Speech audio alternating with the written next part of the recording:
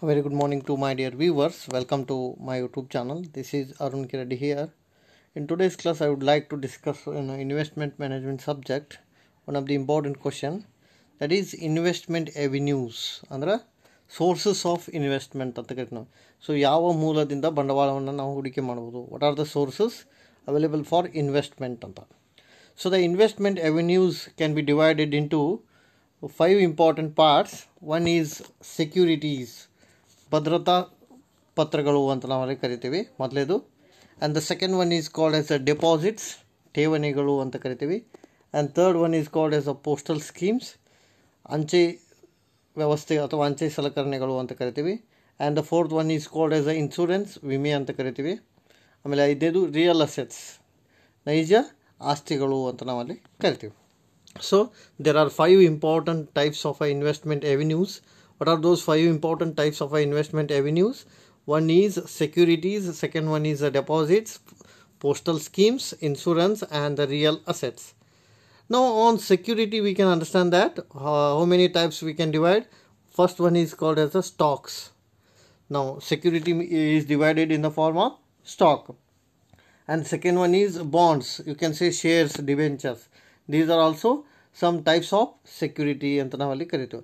So ಸೆಕ್ಯೂರಿಟಿಯಲ್ಲಿ ಬರ್ತಕ್ಕಂಥ ಬಾ, ವಿಭಾಗಗಳು ಯಾವುದಪ್ಪ ಅಂದ್ರೆ ಸ್ಟಾಕ್ ದಾಸ್ತಾನು ಅಂತ ಕರಿತೀವಿ.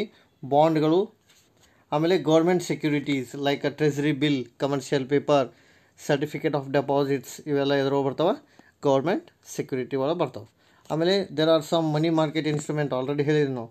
Treasury bill commercial paper certificate of deposits option futures bonds ಇವೆಲ್ಲ ಏನ್ರಿ? ಮನಿ ಮಾರ್ಕೆಟ್ ಇನ್ಸ್ಟ್ರೂಮೆಂಟ್ಸ್ ಹಣದ ಮಾರುಕಟ್ಟೆಯ ಸಲಕರಣೆಗಳು ಅಂತ. And derivatives is also some securities ಅಂತ ನಾವಲ್ಲಿ ಹೇಳ್ಬೋದು. ಆಮೇಲೆ ಮ್ಯೂಚುವಲ್ ಫಂಡ್ ಪಾರಸ್ಪರಿಕ ನಿಧಿಗಳು. So these are all comes under securities so securities include shares debentures bonds et etcetera okay ಅಂದರೆ ಏನ್ರಿ? You can invest in these kinds of security ಅಂದರೆ ನೀವು ಹೂಡಿಕೆ ಮಾಡಲಿಕ್ಕೆ ಇವೆಲ್ಲ ಮುಕ್ತವಾದಂಥ ಆಯ್ಕೆಗಳು. ನೀವು ಶೇರ್ ಒಳಗೆ ಇನ್ವೆಸ್ಟ್ ಮಾಡ್ಬೋದು.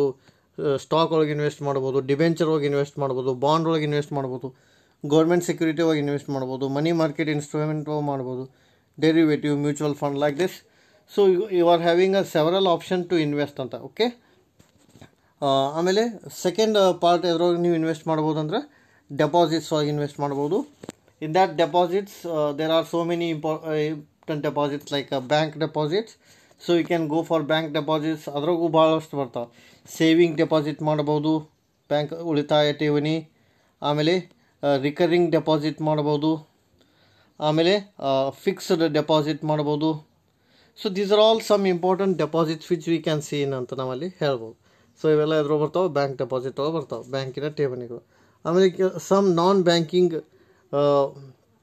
finance companies like non banking finance ಕಂಪ್ನೀಸ್ನಲ್ಲಿ ನಾವು ಏನು ಮಾಡ್ಬೋದು ರೀ ಡೆಪಾಸಿಟ್ಸ್ ಮಾಡ್ಬೋದು ಸೊ ನಾನ್ ಬ್ಯಾಂಕಿಂಗ್ ಫೈನಾನ್ಸ್ ಕಂಪ್ನೀಸ್ನಲ್ಲಿ ಅಂದ್ರೆ that is also one options to the investors ಅನ್ನಂಗೆ ಓಕೆ ಆಮೇಲೆ postal schemes we can invest in some postal schemes ಅಂದ್ರೆ ಅಂಚೆ ಅಂಚೆ ಸಲಕರಣೆಗಳು ಅಂತ ಕರಿತೀವಿ ನಾವು.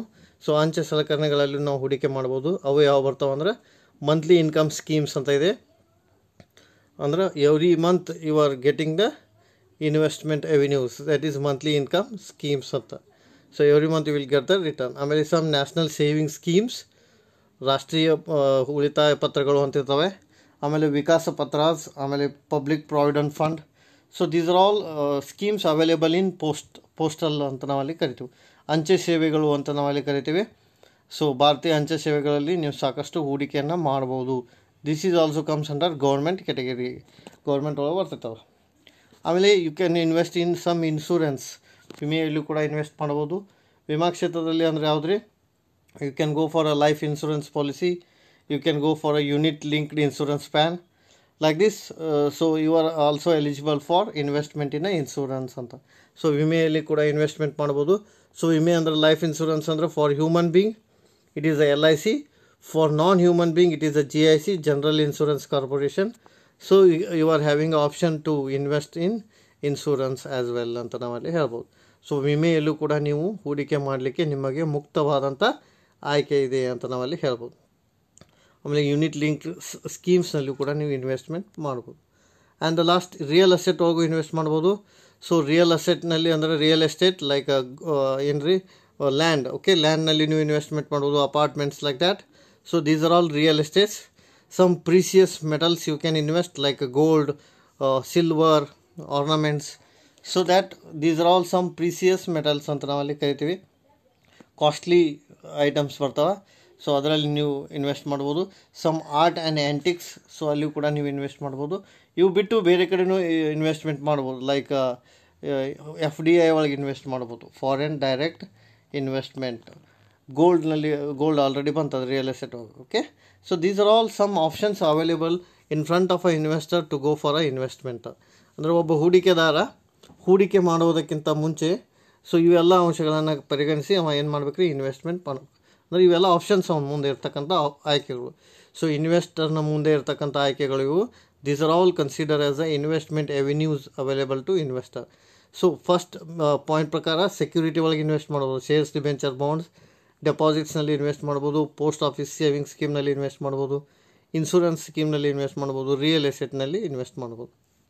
So these are all the options available in front of investor for a investment